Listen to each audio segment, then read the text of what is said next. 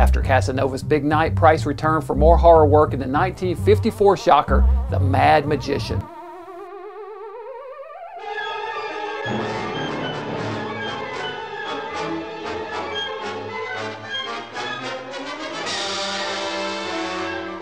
Don Gallico, played by Vincent Price, is a magician performing for the first time under the stage name Gallico the Great. He is also a master makeup artist and performs portions of his act in disguise impersonating other famous magicians. For the finale of his show, he unveils his most dangerous trick, the Lady and the Buzzsaw, never before attempted by anyone. Ladies and gentlemen, this is the most dangerous exhibition ever attempted and I must ask for complete silence. The least disturbance could cause this experiment to end in tragedy. However, before he can perform the illusion, the curtain lowers and the show is canceled. To Gallico's surprise, cancellation was ordered by his boss, Mr. Ormond, played by Donald Randolph. Gallico works for Ormond in his day job, building props, and his contract states that all props built by Gallico are property of Ormond, who has a court injunction to stop Gallico's performance. Now listen, you. I want this trick back in my New York studio before noon tomorrow. And if you know what's good for you, you'll quit playing actor and get back on your job. Back at the Ormond office, we learn that Gallico has another legitimate reason for disliking his boss. He used his money and influence to steal Gallico's wife. Ormond unwisely taunts Gallico, insulting both him and his ex-wife. Gallico snaps and loses his cool, and Ormond loses his head. Stop! Go be for the great magician oh, extraordinary. Get out of here, Will! Why don't you laugh at me now? Down the blade!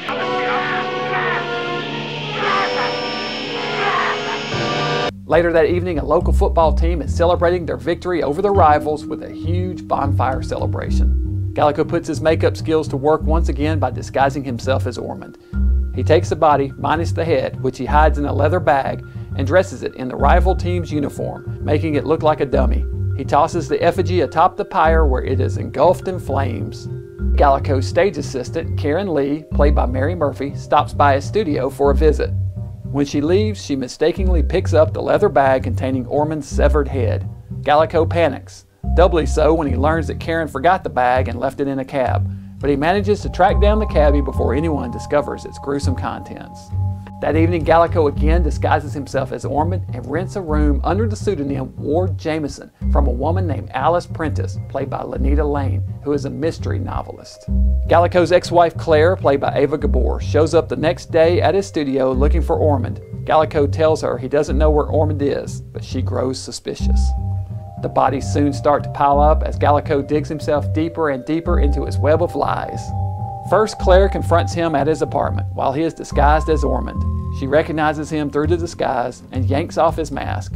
She realizes the truth that he has murdered Ormond, but she doesn't care as that means she is now free and will inherit all of his wealth. She suggests that she and Gallico get back together, which throws him into a rage. Gallico strangles her in anger. Later, a rival magician named the Great Rinaldi, played by John Emery, sneaks into Gallico's studio just as he is holding a private demonstration of a new trick he's devised called the crematorium. He confronts Gallico afterwards, blackmailing him by informing him that he knows Ormond was murdered and will go to the authorities unless Gallico gives him the new invention. Gallico attacks Rinaldi and disposes of his body in the new device. But Gallico, now a multiple murderer, has aroused the suspicions of several folks.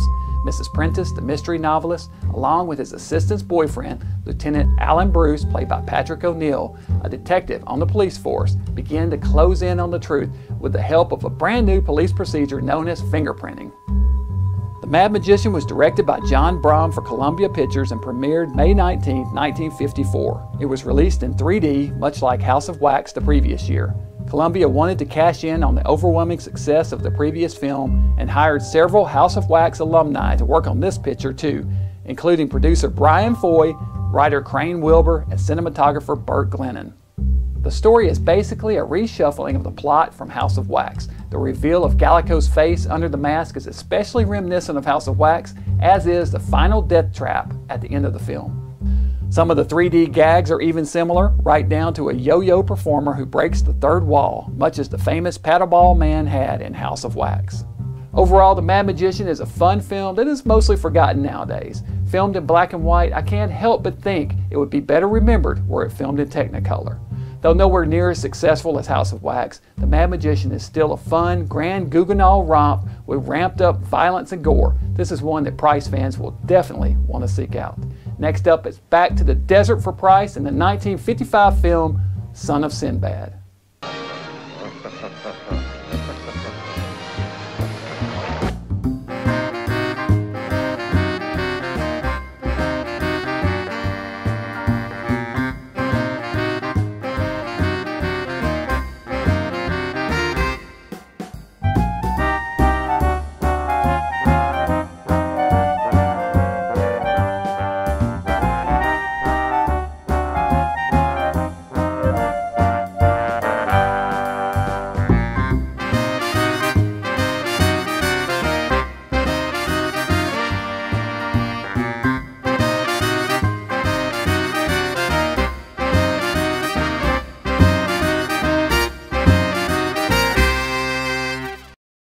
Imitation dairy products in my cooking? Horrors.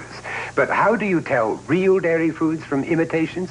Check the ingredient list or check for the real seal. It tells you at a glance it's a real dairy food. The American Dairy Association assures it. So, to get the taste of real cheese, real cream, read this or see the real seal. Frightfully simple. You know it's real when you see